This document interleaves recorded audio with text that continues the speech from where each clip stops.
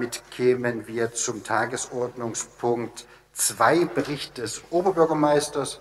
Wenn Sie nichts dagegen haben, dann bin ich noch mit weiterer Distanz zu den ähm, in der ersten Reihe sitzenden Kollegen, würde ich das von hier oben machen.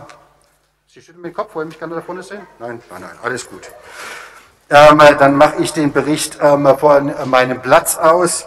Sehr geehrte Damen und Herren, verehrte Stadträte und Stadträte, liebe Zuschauer, auch am Livestream. Gestatten Sie mir unter diesem Tagesordnungspunkt einige Themen anzusprechen und einzuordnen, auch einiges, was heute nicht Teil der Beratung ist. Die aktuelle Situation in der gesamten Stadt und auch in der Verwaltung ist weiterhin durch die Corona-Krise dominiert.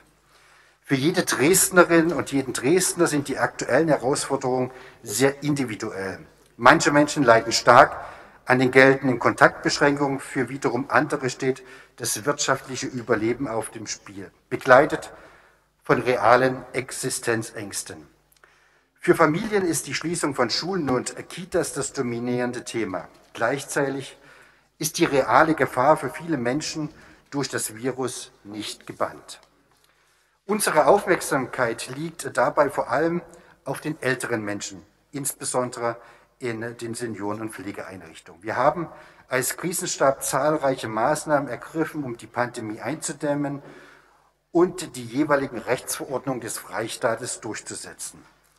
Zu diesen Maßnahmen gehört zum Beispiel die Einrichtung eines Drive-In für Corona-Tests gemeinsam mit dem Deutschen Roten Kreuz, um gerade das Personal in Seniorenpflegeheimen schnell und unkompliziert zu testen.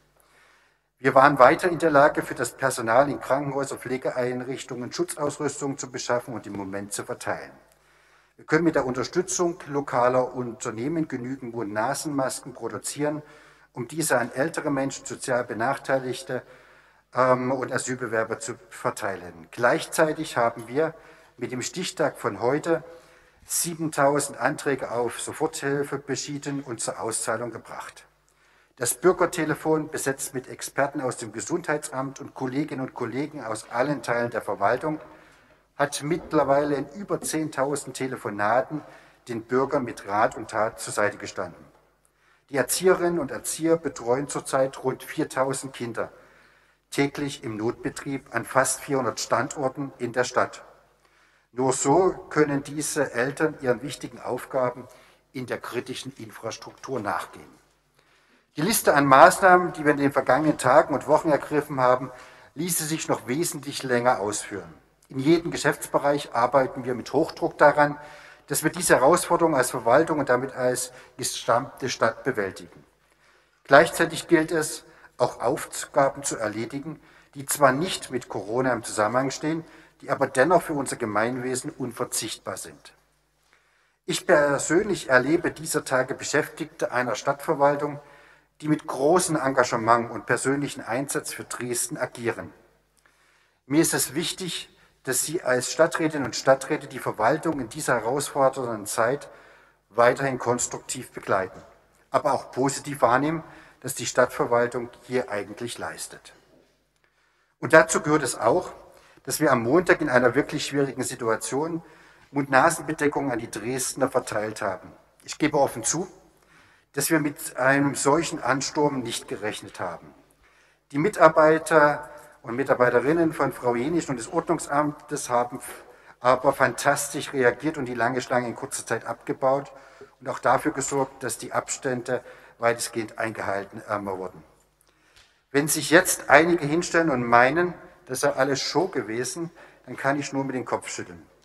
Gerade ältere Menschen und sozial Schwache waren kaum in der Lage, vom Freitag, als der Freistaat die Massenpflicht bekannt gegeben hat, bis Montag einen solchen Schutz zu besuchen. Hier hat Dresden schnell reagiert und genau für die Menschen gehandelt, die einen akuten Bedarf hatten. Und gestatten Sie mir auch eine Bemerkung, der immer wieder der Vorwurf zu hören ist, die Verwaltung wird in Teilen am Rat vorbei agieren. Ich kann dem nicht zustimmen. Zum einen haben wir die demokratischen Prozesse hier im Rat aufrechterhalten während in zahlreichen Kommunen die Ratsarbeit komplett eingestellt wurde. Zum anderen gibt es eine klare Trennung der Zuständigkeiten, die wir genauestens beachtet haben. Beispiele hierfür waren die Soforthilfe oder der heutige äh, Tagesordnungspunkt Sondernutzung und auch der nachgeladene Punkt über ähm, die Fachförderrichtlinien. Ich kann für meine Bürgermeisterinnen und Bürgermeister sowie für mich sprechen, wenn ich sage, dass wir gar kein Interesse haben, sie als Rat nicht ausreichend zu beteiligen. Der Grund dafür ist ganz einfach, die Folgen der Krise werden wir nur gemeinsam bewältigen. Meine sehr verehrten Damen und Herren, und eine dieser Folgen wird sein, dass wir mit enormen Einnahmeausfällen im städtischen Haushalt rechnen müssen. Alleine bei der Gewerbesteuer müssen wir mit einem Minus von 120 Millionen Euro rechnen. Hinzu kommen Einbußen bei der Einkommensteuer, der Bettensteuer, der Sondernutzung, den Parkgebühren und so weiter. In Absprache mit mir hat deshalb der Beigeordnete für Finanzen völlig zu Recht eine Haushaltssperre verhängt. Selbst wenn, wovon wir und auch die Wirtschaftsexperten der Bundesregierung ausgehen, die Konjunktur Ende des Jahres wieder anspringen wird, werden auch in den kommenden Jahren die Effekte dieser Krise nachwirken. Das bedeutet, wir werden uns auch in den nächsten drei Jahren auf deutlich weniger Steuereinnahmen einstellen müssen, als wir bisher auf Basis unseres Doppelhaushalts für die mittelfristige Finanzplanung bis 2023 angenommen haben.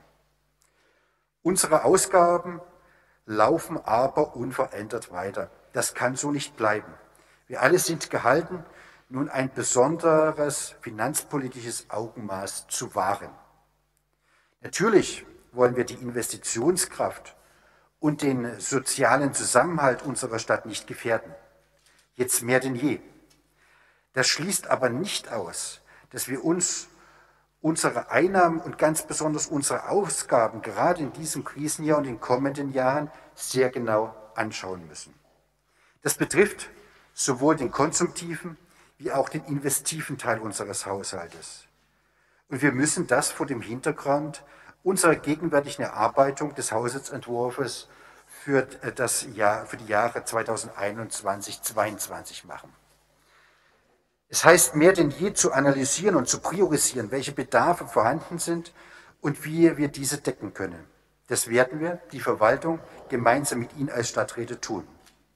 Fakt ist aber auch, dass Bund und Länder in dieser Situation für die Städte und Gemeinden einen Rettungsschirm werden spannen müssen. Ohne diese Hilfe wird die kommunale Familie in eine dramatische Schieflage geraten.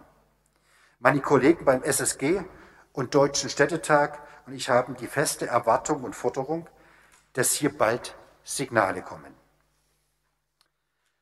Verehrte Stadträtinnen und Stadträte, was mich vor allem hoffnungsfroh stimmt, ist die Tatsache, dass der Zusammenhalt und die Gemeinsamkeit in unserer Stadtgesellschaft in diesen Tagen so stark spürbar ist. Ich erlebe Bürgerinnen und Bürger, die unermüdlich für andere Menschen da sind und Hilfe leisten, wo es nur geht. So gibt es so viele Initiativen und Nachbarschaften, die füreinander einstehen. Wir erwarten und erhalten viele Hilfsangebote und Spenden aus allen Teilen der Stadt und auch aus allen Teilen der Welt. Für diesen Zusammenhalt können wir sehr dankbar sein. Ein ganz kleines Puzzleteil davon findet auch in der Familie Hilbert statt. Deshalb habe ich Ihnen mit den besten Grüßen von meiner Frau jeden eine selbstgenähte Maske auf den Tisch gelegt und hoffe, Sie werden es zu nutzen wissen. Denn das Allerwichtigste ist, dass wir alle gesund bleiben.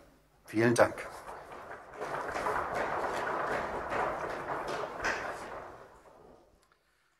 Soweit zum Bericht des Oberbürgermeisters.